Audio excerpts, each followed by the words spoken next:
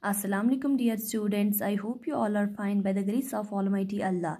Dear students, open your science notebook and start writing. Dear students, um, we have already taught you about um, wild animals and today we are going to write uh, some wild animals.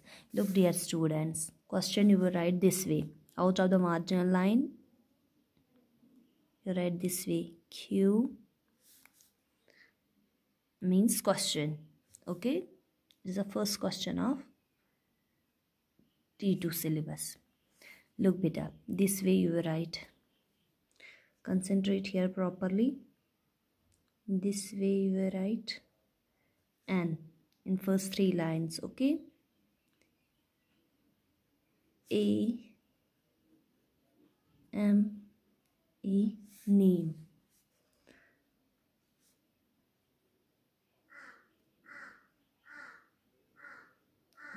five F I V E five name five wild animals W, I, L, D.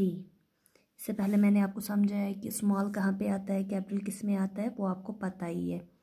ठीक है, अब आप जल्दी जल्दी लिखने की कोशिश करें।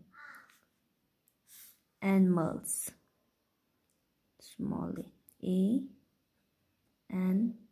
I M A L S animals. Name five wild animals पाँच जंगली जानवरों के नाम। और कोशिश करें कि जितने भी आप लेटर्स लिखोगे एनिमल्स जैसे मैंने यहाँ पे एनिमल्स लिखा, इसमें जितने भी लेटर्स है, थोड़ा नज़दीक नज़दीक लिखने की कोशिश करें। बीच में कम स्पेस होनी चाहिए। ठीक है? और जब वर्ड आप फिनिश करोगे, जैसे यहाँ पे, उसके बाद अगर आप थोड़ी सी स्पेस छोड़ोगे, ज़्यादा भी नहीं, ज़्यादा कम भी नहीं, ठीक है? ऐसे जैसे मैंने लिखा है।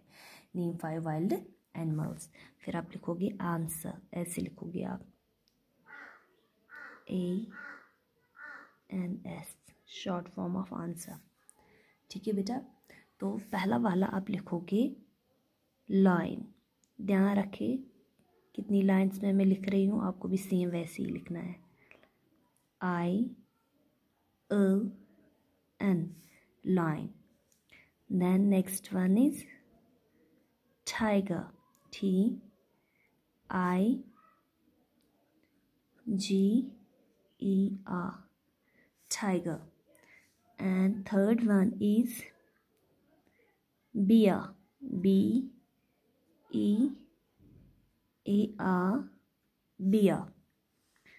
And fourth one is zebra. आप ऐसे भी जेड लिख सकते हो, ठीक है? या कर्सो में अभी फिर से दिखाऊँगी। Z E B R A zebra आप ऐसे लिख सकते हो बेटा कर्सो में ऐसे ऐसे जेड ई बी आ ए एक ही बार आप लिखोगे, ठीक है?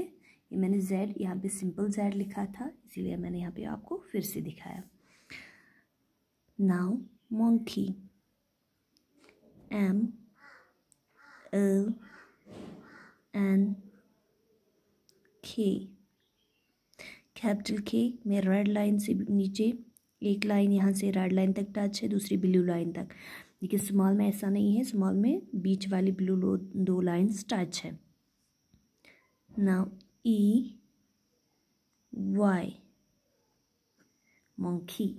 Now let's revise again name five wild animals पाँच जंगली जानवरों के नाम बताइए। Lion tiger bear zebra monkey L I O N line, T I G E R tiger, B E A R beer, Z yeah or you can say Z E B R A zebra, M O N K E Y monkey, line, tiger, beer, zebra, monkey, line, tiger, beer, zebra, monkey. Now write it neat and clean as I have shown you and practice it on a rough four or five times until you will you are able to write the same. Thank you. Have a nice day